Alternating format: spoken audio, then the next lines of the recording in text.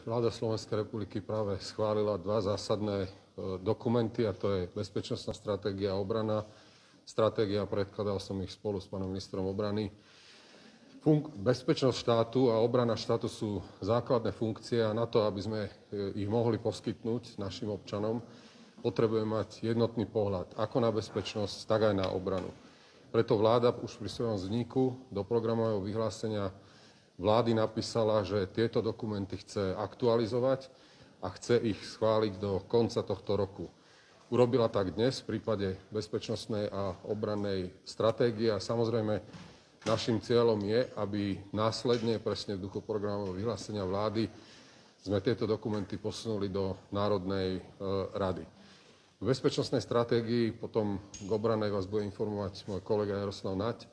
Chcem povedať toľko, že Vláda veľmi zodpovedným spôsobom e, reflektuje to, ako zásadne sa zmenil svet, bezpečnostná situácia od roku 2005, pretože vtedy, odvtedy máme platnú bezpečnostnú stratégiu. V predchádzajúcom období nebola ani vláda, ani koalícia schopná sa dohodnúť na tomto základnom dokumente. Znamená to zodpovedný prístup voči našim občanom. Chceme im ukázať, že vláda a ďalšie ústredné orgány štátnej správy majú jednotný pohľad na to, v akom svete žijeme. Ten svet nie je bezpečný, je ťažko predvídateľný a prvá vec, ako sa s ním vysporiadať, je mať jeden uh, ucelený pohľad, aby sme ťahali za jeden povraz tejto zásadnej veci, lebo platí, keď je bezpečnostný dosť, tak sa nám to nezdá. Ale bez bezpečnosti a obrany je všetko nič.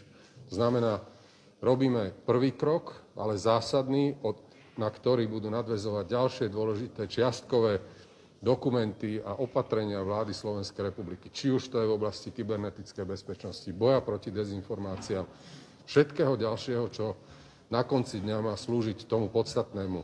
Vláda Slovenskej republiky urobí všetko pre bezpečnosť a obranu tejto krajiny. Ďakujem z tohto miesta všetkým, ktorí na nej spolupracovali. Najtesnejšia to bola spolupráca medzi môjim rezortom diplomácia a ministerstvom obrany, ale chcem poďakovať aj ďalším expertom, či už z kancelárie pani prezidentky, informačných služieb.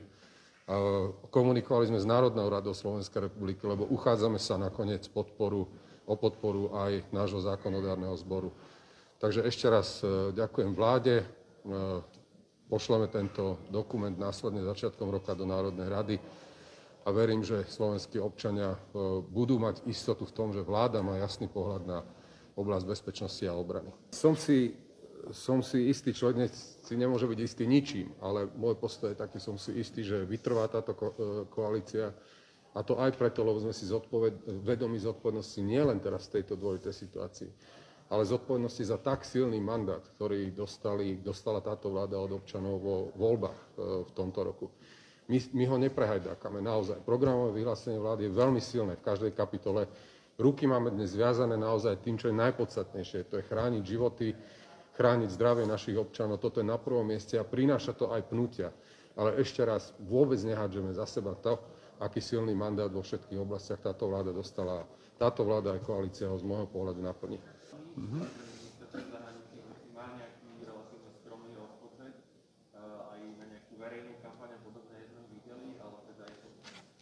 veľmi málo peňazí, či teda sa pridá nejakým spôsobom e, na tejto položke, či bude vytvorený nejaký širší tím, ktorý na tom bude pracovať. A posledná otázka s tým súvisiaca, vieme, že v EU funguje ten East Stratcom tým. Mm-hmm. Podľa mojich posledných informácií tam nebol ani jeden slovenský zástupca.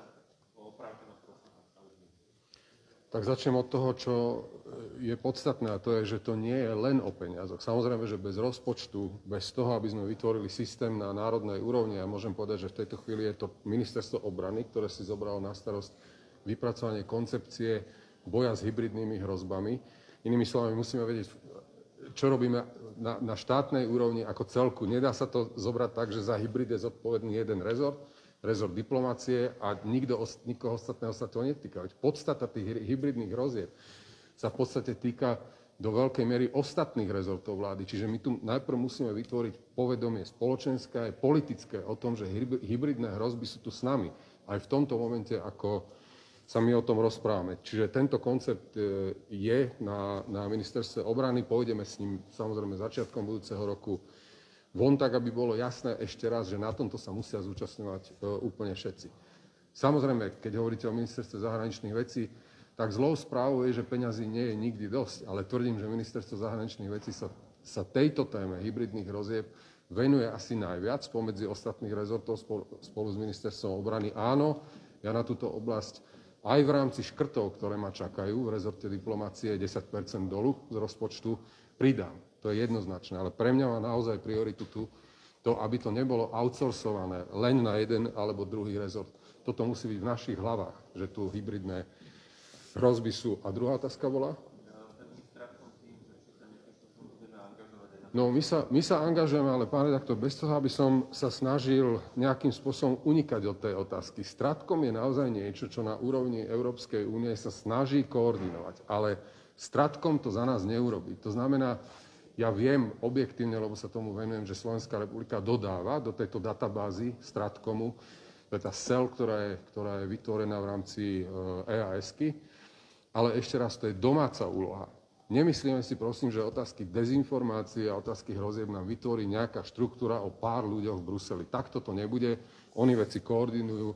Je tu Centrum excelentnosti, ktoré je vo Fínsku. Ja som podpísal nedávno pristúpenie Slovenskej republiky.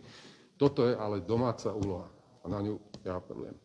Pri pohľade spätnom na tento rok prvá vec, ktorá mne vôjde do mysle, je to, že sme podľa môjho názoru celkom zvládli pomoc našim občanom, ktorí sa na začiatku tejto pandemickej krízy naozaj po celom svete a v tisíckach ocitli v núdzi. E, chcem sa za to poďakovať môjmu týmu po celom svete, lebo to boli, myslím, že 6 tisíc ľudí, ktorých sme repatriovali domov a toto bola obrovská operácia, ale rovnako chcem poďakovať aj občanom za trpezlivosť. Druhá vec, ktorú ja vnímam s dobrým pocitom, je to, že sme veľmi blízko k tomu, čo sme si ako vláda v oblasti zahraničnej politiky povedali, nebudem to rozmiať na drobné, ale všimli ste si, hovoríme e, jasne a jednoznačne o tom, e, kde Slovenská republika patrí a prečo je dobré, že patrí, kde patrí. Z tohto miesta takisto za celý rok ďakujem všetkým politike vo vládnej koalícii, predsedom politických strán, pani prezidentke, predsedovi Národnej rady za to, že občania tu nemajú rozorvaný pohľad, že tu už nie je tá situácia, že jeden číhy, druhý hota. Takže toto je z môjho pohľadu e, dôležité pre záujmy Slovenskej republiky, lebo o nič iné nejde. No a na budúci rok COVID, samozrejme e, ministerstvo zahraničných vecí opäť v tom, čo môžeme, pomáhame. Vidíte Martin Klus ako podľa mňa naozaj veľmi uznania, e, môžem vysloviť uznanie za to, ako komunikuje to, čo sa deje na hraniciach. Mnohé nie je v našej kompetencii, ale aj tu rezort naozaj slúži e, občanom Slovenskej republiky. Je tu šanca pre svet, a to aj zvolením amerického prezidenta, aby to, čo ja nazývam Západ, ale to sú slobodné demokracie, držali spolu, lebo ten svet, ktorý popisujeme v bezpečnostnej obrannej stratégii, je tak rozkývaný, že sa musíme zomknúť, Spojené štáty a Európska únia, že toto slúži e, slovenskému záujmu. K tomu chcem prispieť. A tretia vec, verím, že nám to COVID e, umožní, som si dokonca istý, že zvládneme túto krízu s príchodom vakcíny. Potom chce slovenská diplomácia veľmi razantne otvárať dvere pre slovenský biznis. Mám tu takisto druhú štátnu tajomničku Ingrid Brodskou, ktorá sa tomu venuje. Zatiaľ sme mali zviazané ruky, ale chcem aj ja vložiť všetko úsilie preto, aby sme aj cez diplomáciu ťahali na Slovensko kapitál, aby sme otvárali dvere pre náš biznis aj do sveta.